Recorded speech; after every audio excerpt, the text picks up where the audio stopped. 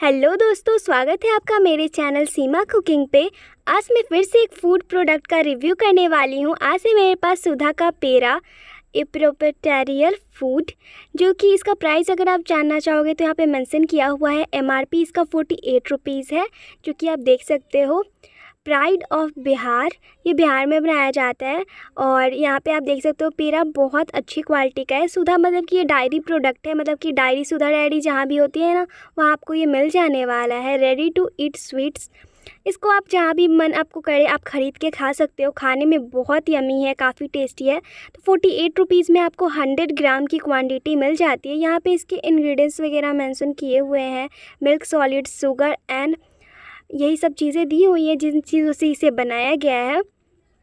और यहाँ पे मेंशन किया हुआ है कितना ग्राम है तो ये हंड्रेड ग्राम आपको फोर्टी एट रुपीज़ में मिल जाता है। Store in a clue cool and dry place. तो और अगर आप किसी चीज़ में रख रहे हो तो एयर टाइट कंटेनर में इसे रख दीजिएगा।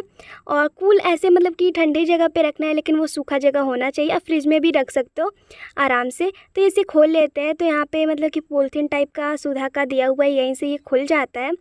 अगर आप कहीं बाहर जा रहे हैं तो भी आप खा सकते हो। खाने में बहुत यमी लगता है। लेकिन पहले ना ये पेड़ा जो था, काफ़ी बड़ा आता था। लेकिन अब इसका साइज़ दिन प्रतिदिन छोटा होते जा रहा है। और इसमें आपको एक पैक में मिल जाते हैं पूरे सिक्स पीसेस छोटे छोटे पेड़े होते हैं छोटे छोटे ही हैं।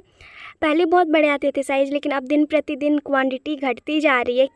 ये तो आप जानते ही हैं, हर प्रोडक्ट में होता है प्राइस वही रहता है, लेकिन क्वांटिटी घटते जाती है। तो यहाँ पे टेप जैसा दिया था, ये खुल ही नहीं रहा था तो मैंने अपनी मम्मी की मदद ली।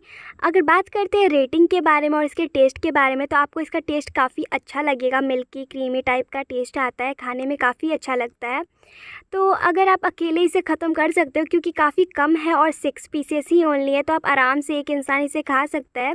पहले क्या था कि एक डब्बे, अगर आप दो ही तीन खा लेते थे ना तो पहले पेट भर जाता था, अब तो एक डब्बा खा सकते हैं। तो इतने छोटे छोटे क्यूट से आते हैं और इसे अगर रेटिंग की बात की जाए तो मैं तो इसे टेन आउट ऑफ़ टेन देने वाली हूँ क्योंकि मुझे ये बचपन से पसंद है गाइस मुझे काफ़ी अच्छा लगता है सुधा कि मैं ज़्यादातर प्रोडक्ट यूज़ करती हूँ खाने के लिए, जैसे कि पेड़ा हो गया और सबसे फेवरेट है मेरा अमूल लस्सी और अमूल लस्सी बहुत पसंद है और एक आता है राबरी मुझे राबरी और अमूल लस्सी बहुत ज़्यादा पसंद है। तो यहाँ पे देख सकते हो इस टाइप का पेड़ा है और काफ़ी क्यूट सा है और खाने में काफ़ी यमी है, एकदम अलग सा टेस्ट आता है। खाओगे ना मुँह में एकदम मेल्ट सा हो जाएगा।